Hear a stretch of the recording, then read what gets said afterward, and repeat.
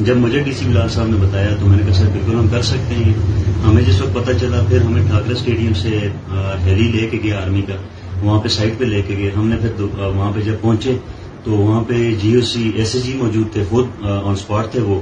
اور اس کے علاوہ وہاں پہ آئے ہوئے تھے اے سی صاحب. آئے ہوئے تھے آئی تھنک اے سی صاحب تھے آئی تھنک اس کے علاوہ آرمی بے شمار تھی. سویلینس بہت زیادہ تھے. رش تھا بہت زیادہ. پانچ چھ ہزار لوگوں کا رش تھا تقریباً. اس رش میں پھر ہمیں آرمی نے سارا سپورٹ کیا. آرمی نے ہمیں ہر جگہ پہ مطلب سپورٹ کیا۔ میرا یہ جو بھی پروجیکٹ تھا ہیونس ڈے کا اس کو ہم نے ریسکیو کرنا تھا۔ اس میں ایٹی ٹو سیونٹی پرسینٹ ہمارے ساتھ آرمی کر رہی تھی ساری چیزوں کو۔ تو علی بھائی ابھی آپ نے یہ جو آپریشن کیا ہے اس میں آپ کے ہمیں دکھنے میں آ رہا ہے کہ آپ کے ہاتھ پہ بھی کچھ اس کے ہوئے۔ تو آپ اس کے بارے میں بتائیں کہ آپ کے ہاتھ کو کیا ہوا اور یہ کیا کیا وجہ ہوئی ہے کہ جس کی وجہ سے آپ کا ہاتھ ڈیمیج ہوا؟ یہ جب ریسکیو کر رہا تھا میں وہاں پہ تین لڑکوں کو میں لے کے آیا، پھر دوبارہ ہم تین لوگوں کو لے کے چھ لوگ ہم نے ریسکیو کیے تھے۔ تو ریسکیو کرتے ہوئے جو رسی مجھے باندھی ہوئی تھی پیچھے، جب مجھے آرمی یا سوینئرس کھینچ رہے تھے، اس رسی میں میرا ہاتھ آ گیا تھا۔ اور اس کو وہ کھینچتے رہے تقریباً چار سو فٹ تک، وہ اسی ہاتھ کو کھینچتے رہے میرے۔ اور میں انہیں کہہ بھی نہیں سکتا تھا، اندھیرا تھا سگنل ایشو تھا وہاں پہ۔ بہت زیادہ کمیونیکیشن گیپ تھا ہمارا۔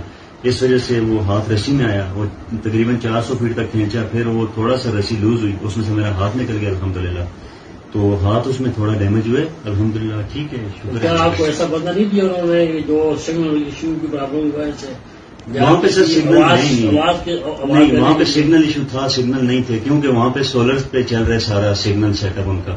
تو مغرب کے بعد سولر کام نہیں کرتا تو وہاں پہ پھر سگنل ایشو آتا ہے تو یہ اس علاقے میں یہ بہت بڑا مسئلہ تھا جس کی وجہ سے ہمیں ساڑھے تین سے چار گھنٹے لگے۔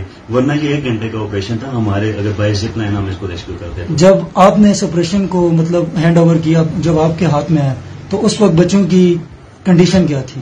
آپ ہمیں بہت زیادہ خوش تھے۔ میں جب ان کے پاس پہنچا میں نے سب سے پہلے دیکھا وہ بہت ڈرے ہوئے تھے۔ انہیں کوئی بھی امید نہیں نظر آ رہی تھی کہ جی ہم مطلب موت کی کشمکش میں تھے کوئی اتنا نہیں واقعی مجھے بھی ادھر نہیں لگ رہا تھا کہ کوئی صورت نہیں ہے ہماری بچنے کی۔ لیکن الحمدللہ وہ اتنے خوش تھے پھر اب جب لے کے آئے ادھر آئے تو ان لوگوں نے ہمیں چومنا شروع کیا ہاتھ نکل گیا الحمدللہ۔ تو ہاتھ اس میں تھوڑا ڈیمیج ہوئے الحمدللہ ٹھیک ہے کیا آپ کو ایسا پتہ نہیں دیا انہوں نے جو سگنل ایشو کی پرابلم ہوا ہے وہاں پہ سر سگنل نہیں۔ وہاں پہ سگنل ایشو تھا سگنل نہیں تھے کیونکہ وہاں پہ سولر پہ چل رہا ہے سارا سگنل سیٹ اپ ان کا۔